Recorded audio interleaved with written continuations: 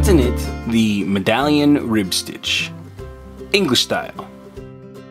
For this tutorial, you will need a pair of knitting needles and a ball of yarn. Special thanks to our sponsor Webs for providing today's yarn. Today we are using their Northampton yarn from their Valley Yarns line in the color Green Apple. For this stitch you'll need to know the following techniques. Knit, purl, cable two back, yarn back, yarn forward, slip stitch. To begin the stitch you must cast on in multiples of 4 plus 8.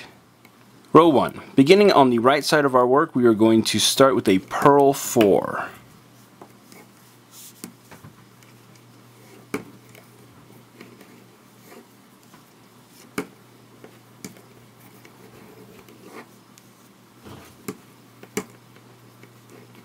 Okay, then we're going to bring the yarn back to begin our repeat.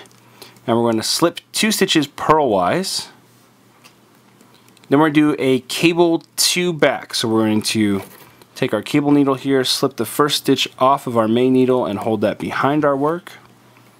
Then we're going to knit one from our main needle and then knit one from our cable needle and we'll place that off to the side there and then we'll finish up our repeat with a purl 4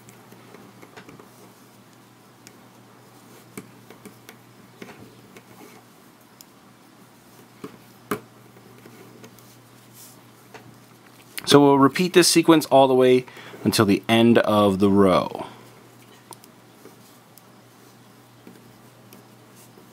Now if you wanted to not do a cable two back, you could do a twisted stitch, uh, which would be a right twist stitch. And we would knit into the second stitch through the front and then come back around and knit into the first stitch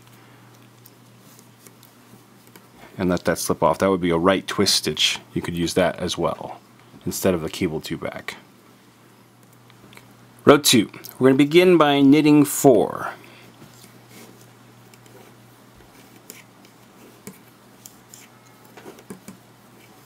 Then we'll start our repeat by bringing the yarn forward. Then we'll slip the next two stitches purlwise. Then we're going to purl the second stitch on our main needle. So I'm going to come right into this stitch this is very similar to the right twist stitch, but it's done with purl stitches. Then we're going to purl into the first stitch as well, and we will slip both stitches off together. Okay, then we're going to knit four to finish our repeat. Okay, and we'll repeat this sequence all the way until the end of the row. Row 3, we're going to knit all stitches.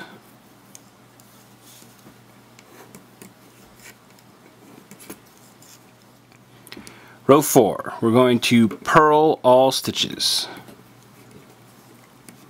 So we're going to repeat rows 1 through 4 until you've reached your desired length.